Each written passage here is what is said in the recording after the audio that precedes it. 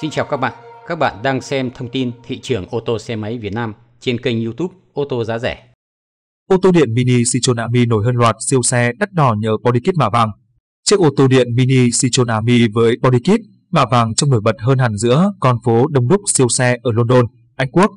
Mẫu xe điện mini Citroen Ami đang có một cú hích về mặt doanh số, nhưng nhà sản xuất ô tô Pháp vẫn luôn tìm ra những cách mới để quảng bá nó tới công chúng. Chiến dịch tiếp thị mới nhất của Citroen ư là một chiếc Ami bọc vàng sẽ đi tham quan các thành phố lớn, cố gắng thu hút sự chú ý của mọi người khi đứng cạnh những siêu xe xa xỉ. Vì vậy, khi chiếc xe điện mini Citroen Ami độc nhất, vô nhị với body kit, mạ vàng chói lóa di chuyển ở trung tâm London, nó khiến những chiếc xe đắt tiền khác bị lu mờ. Chiếc xe điện mini thực sự đã thu hút sự chú ý của hầu hết người dân trên khắp các con phố nơi chiếc nó đi qua. Tại những điểm đỗ xe ven đường, chiếc Citroen Ami tự tin tạo dáng bên cạnh những chiếc siêu xe Ferrari như 488 GTB, F8 Chibuto, Roma, Portofino M và 430 Shadow và các siêu phẩm đến từ thương hiệu Lamborghini như Huracan Sterato, Huracan Performance và Murcielago. Thậm chí, chiếc xe điện nhỏ bé này còn đỏ sắc với những chiếc siêu sang như Rolls-Royce Phantom Group Hit, Coupe và Bentley Mulsanne, cũng như một mẫu xe cổ rất đắt tiền là Aston Martin DB5.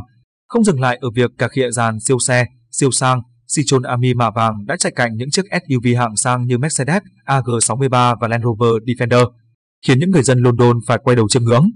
Được biết, trong chiến dịch lần này, Citroen sẽ tung ra 7 chiếc Ami được bọc vàng đặt riêng do Jenny Spark chế tác. Mặc dù có tốc độ tối đa chỉ 28 fps, 45 km/h, tự động cơ điện 8 mã lực 6 kW trên 8 PS, công ty vẫn gọi Ami là siêu xe hoàn hảo chạy trong phố.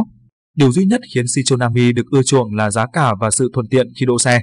Mỗi lần sạc đầy, xe di chuyển được 70 km ở tốc độ 45 km/h và mất 3 giờ sạc đầy với điện dân dụng. Hãng xe Pháp cho biết mẫu xe này không có sạc nhanh. Theo Capcops, bạn đang sở hữu một chiếc xe độc hay bản đồ siêu đẹp.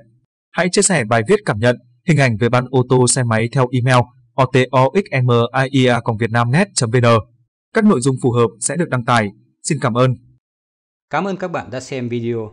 Rất mong các bạn hỗ trợ kênh bằng cách bấm đăng ký kênh, bật chuông nhỏ ở bên cạnh để nhận các clip mới hàng ngày. Bấm like và comment ở bên dưới video. Chúc các bạn lái xe an toàn và luôn gặp mọi điều may mắn trong mỗi hành trình. Hẹn gặp lại các bạn trong các video sắp tới.